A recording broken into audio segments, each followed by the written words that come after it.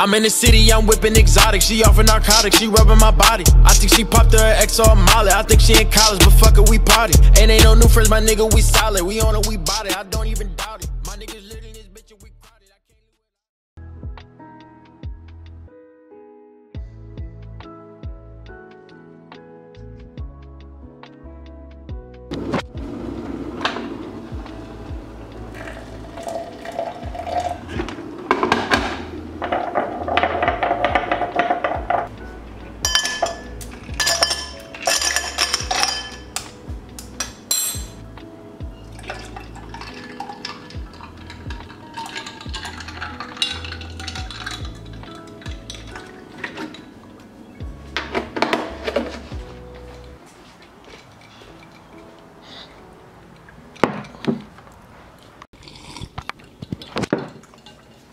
Good morning guys and welcome back to another video. Not just any video, this is episode 1 of FTMO Let's Go. I am very keen to get into this series, I'm very keen to get into some trading because as you know I have a new trading plan. I have a checklist which I'm going to use for every single trade. I don't even have to think anymore, it's everything is on here and my rules list. So it's going to be much less stress to be honest because now it's like hey, this is really important to me, but I've made it so much easier for myself to do because now I don't have to think. I just need to look at a sheet of paper and check off circles and read my rules. Price is still hovering at the moment around there. So it's still hovering within my alerts. Pretty much I don't need to do anything at the moment since it's still in that range. I don't like it ranging in there. I want price to either break through the resistance or break through the support ding the alert, and then that's when I'm interested. But since that hasn't happened yet, I'm literally just gonna go throughout my day like I usually would.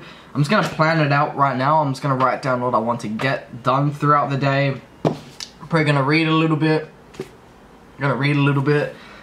And then I'm gonna work out, or I don't know, I'll swap the order around, but yeah, probably do some more yoga. You saw I just did some stretching like five minutes before. That's just because when I get up, my muscles feel tight. I need to move around, just loosen them up a little bit. Have a coffee, not all the time. Today I wanted to have a coffee because it's a special day. It's day one of FTMO, let's go. And if price just decides to range, because I know there's a lot of fundamentals on this week, I'll quickly show you my board.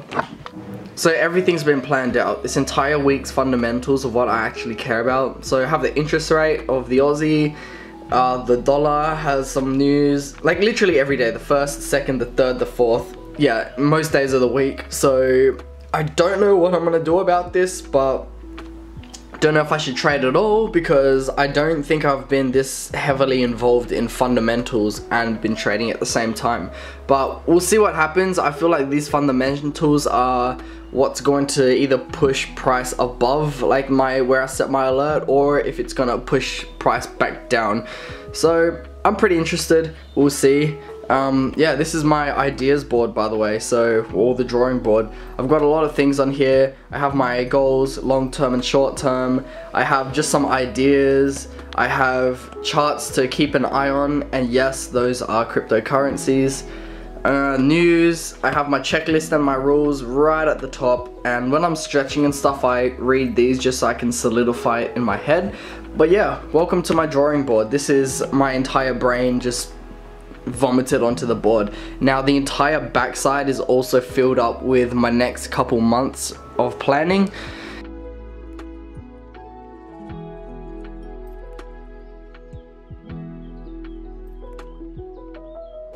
Hey guys, what's going on? So I just took my first trade, like the very first trade of the series, first trade of the week.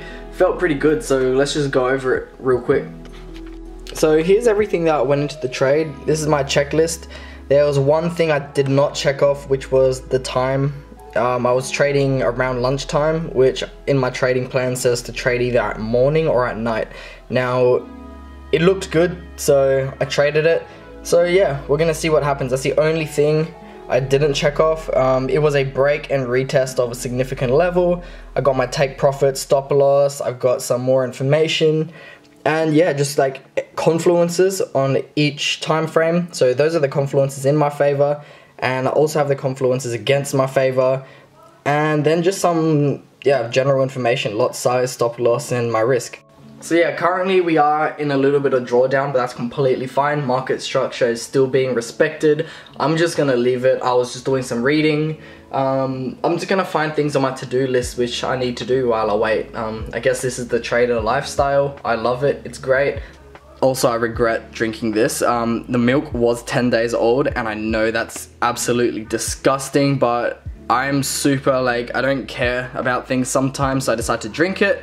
I had a little bit and it gave me some anxiety. I didn't feel too great after that, just even my stomach, so I'm gonna chuck that out because yeah, that kind of ruined my morning, but it's all good. Alright, what's up? So it's later on in the day, it's about 6 p.m. I just lost out on my first trade.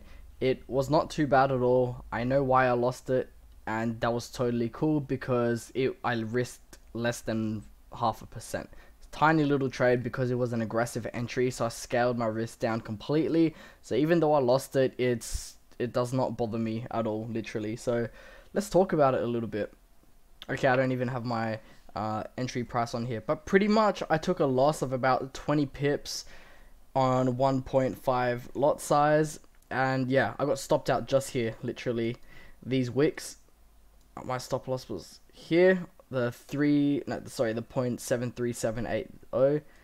But this is why I think I lost this trade. First of all, I saw this double top formation at the resistance. That was the main thing, really. I knew I was like, uh, should I enter here? Should I enter here? So this is why I lost. It was on an uptrend, hit this resistance, formed the double top. But the reason why I entered long is because I saw it form a higher high. So it did close above the last high. So I was like, okay, well, seeing as it is in an uptrend and things are on its way up, it formed a higher high. So, you know, it might break above, retest, and shoot up. But unfortunately, it didn't. Alright, this is where we are at the end of the week. Hey guys, what's going on? It's Friday. I've got three trades done this week. I have it recorded on my MetaTrader, I have it recorded on paper, and I have it recorded you know, just on the charts, just screenshots of the charts and charts and stuff like that. So let's get into it. I'm gonna talk about it a little bit. All right, so how was my first week trading with my trading plan? Honestly, I liked it, but it's a little bit rusty because I'm not exactly used to following this routine. It hasn't really become a habit at the moment. I'm still trying to get used to it. Like, okay, before I take the, I can't just take the trade. I have to sit there with my checklist um, and check it, everything off one by one. And usually as I'm doing that, I'm seeing price go crazy. I see it making its way into the green. It's slightly stressful because you're like, oh, I really want to rush through this checklist, rush through my rules because I don't want the trade to take off and just, you know, shoot as it usually sometimes does uh, while I'm just taking notes and stuff pretty much no it's been good i really like it it's i've made a couple mistakes and i've learned a couple things which i'm going to start putting in. Now the main thought I'm having at the moment is do I incorporate this during my, this you know demo challenge I'm doing?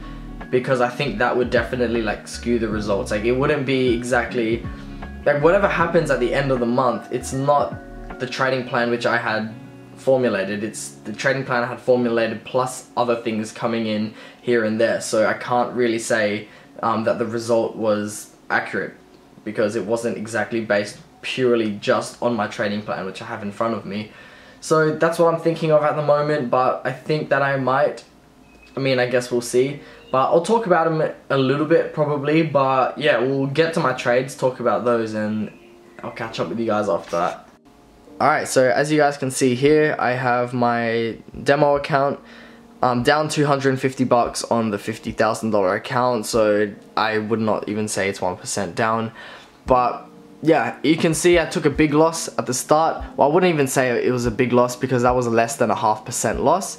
Now I entered two other trades which were looking good, but due to certain uh, structure patterns or movements, I saw price reversing, so I had to cut them off pretty much at break even so yeah I didn't want to be greedy and say nah they're gonna go in my direction because guess what? They did reverse so cutting my losses early. I made two small little break even wins like less than a hundred bucks but hey these little ones add up especially if you take if you be taking trades every day. In this case I only took three in this week Alright, so here you see trade 2 and trade 3. I'm quickly going to go into some detail with these, not so much the first trade because I'm pretty sure in this vlog earlier on I did mention that I lost it because for, price formed a double top and I bought and price uh, dropped slightly. But yeah, that wasn't too bad because I was only less than a half percent uh, trade and like that followed my trading plan perfectly, exactly. So I'm not mad at that trade at all. But what I don't like is this trade here, trade 2. I didn't analyze it properly or something something. I'm pretty sure I journaled about it. I don't have a journal on me at the moment. But price was approaching resistance, but I still bought, which was not very smart. So lucky for me, price did make its way into profits a little bit. And once I realized that this was not a trade I wanted to be in, I just cut it straight away. Like it could have kept going into profits. I'm not sure if it did or not. I didn't follow up with it, but I just cut it there. It was not a good trade to take. That was trade two. So now we trade three. This one was a break and a retest of a significant level, being the 0.74. This is what I saw here. There was an impulse movement up, broke, and it formed a higher high compared to the last high here. Came down for a retest perfectly to the 0.74 and straight away bounced up. Now, this looked sort of nice. Um, so, I think I'm in this trade. I think this is the trade I'm in at the moment. Yeah, so this trade was a pretty just simple um, break and retest of a significant level. I mostly followed my plan. The only thing which I didn't do on my list was I did not plot out all the confluences for the trade to go in and against my favor. Doing this just helps you get a very good understanding around, you know, what's happening on each time frame in or against your favor and you get to weigh them side by side and really see like which way is it you know co combine your biases together and form a plan of like okay is this actually going up or down? Because it's saying that it can go up and it can go down but which ones are you know suggesting with stronger evidence i guess? So that i didn't follow and i did not tick the one that says i have studied the trade to the best of my ability now, what this means is that I saw the trade and I did like take time to go through my trading list, but I, you know, I have that feeling if I really put my all into a trade or not. This one, I did not feel like I put my all into it. Anyways, I did end up cutting that trade as well because it formed, it just didn't follow structure. Some it formed like some sort of resistance and made its way down. And I think it was just this resistance here so this is on the 2 hour and on the 15 minute it may have looked different, but something caused me to get out the trade and it it has to be structure because that's the only reason why I would cut trades. Alright, so this is good because I just realized that I can't really give you guys much information because I there's certain information that I did not record which is the I should really be taking a pre-trade photo of the graph I mean of the chart and then a post trade photo of the chart because then it shows me or shows you guys like why and how I entered and then it also also will show you when I exited and it would make it clearer for me and I could see why I exited. And I could just explain it more because I sort of don't like how just then I could only give you so much so like limited information with uh, two of these trades. So all three of these trades were supposed to be half a percent risk. The first one was, but then the second two, I just did not take it into account. I completely forgot that like to change the lot size and make it half a percent. I'm so used to calculating my risk at always at 1%, 1%, so I calculate it in my head as 1%, but I don't make that extra effort inside my brain to remember like nah, you gotta half that because it's supposed to be half a percent. So, I love doing this. Here's a little quick tip. Notepad, whatever you're forgetting, just chuck it on the notepad and then whack it in front of your computer. So I'm gonna write here journal before and after and lot sizes. So, there. Now I won't forget. And next week, you're going to get a better video. So this is great. I love things like this. Um, this is why mistakes are important because you get to learn from them and you only get better. So yeah, that pretty much wraps up this week's video. The first week of FTMO Let's Go.